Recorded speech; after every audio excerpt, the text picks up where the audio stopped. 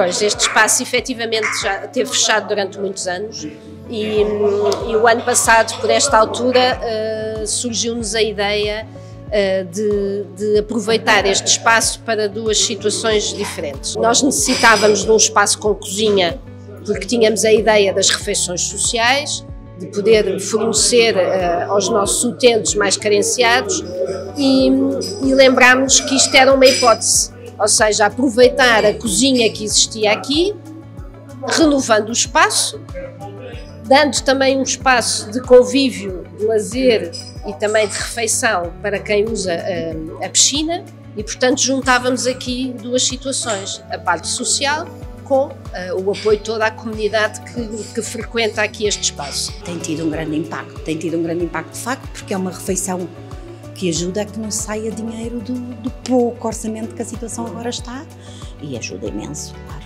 Só é pena não ver ao fim de semana.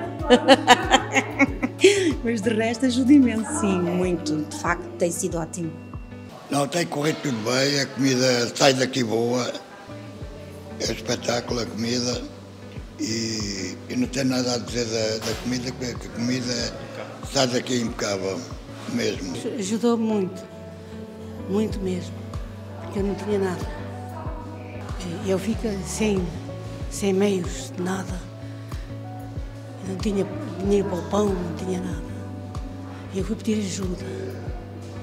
Para mim tem sido uma boa experiência, porque uh, acho que se tornou assim um bocadinho uma família, sabe? Porque quem nos acolhe, acolhe-nos bem, porque isto é uma situação, por exemplo, é uma situação que aconteceu por doença, e, e, pronto, e resolvi pedir ajuda, nunca tinha precisado de ajuda, mas quando se precisa, tem que se pedir.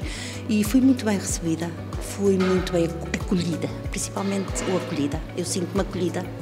Eh, as pessoas não tinham uh, propriamente refeição social todos os dias pela junta, portanto, isso foi uma novidade.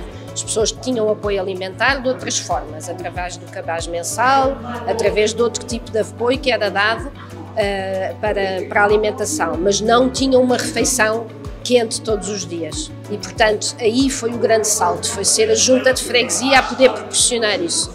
Um, e pronto, começámos com poucas famílias no início e fomos construindo ao longo destes meses. E neste momento temos cerca de 40 pessoas a quem, a quem damos almoço aqui todos os dias.